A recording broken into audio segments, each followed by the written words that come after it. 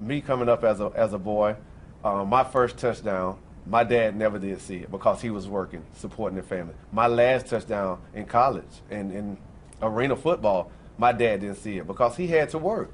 And I'm at work, and she called me, and she said to me, she said, I think JT just said dad dad for the first time. I was like, I kind of got excited on one side, but on the other side, it gave me a red flag in my head. Like, you know what?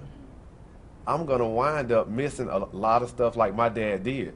So if I don't change something here now and come up with a purpose of what Advocare can really mean to my family, I'm going to miss a lot more to come.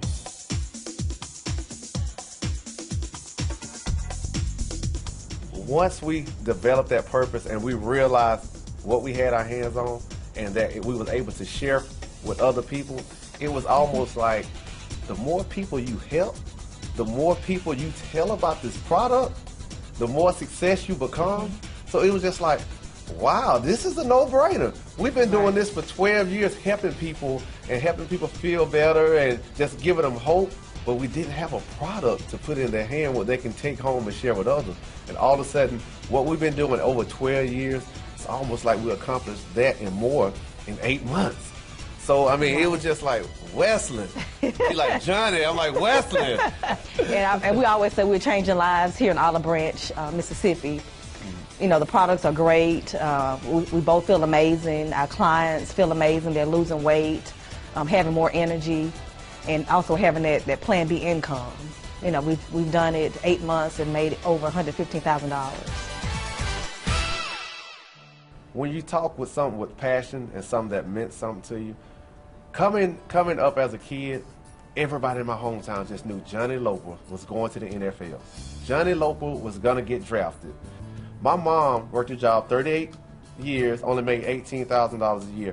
After work, she would go cut grass just to make extra money to send me to football camp, to send me to, to all the different things that I need just for I can be able to make it to the NFL. It's time for the draft. I'm thinking, I get a call that I'm getting ready to get drafted in the sixth round sixth round comes, the team that was going to draft me trade their draft pick to another team. All my dreams almost just went away. This, this is the day that I get her out of debt.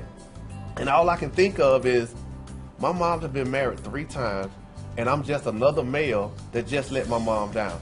That crushed me for the next three, four years.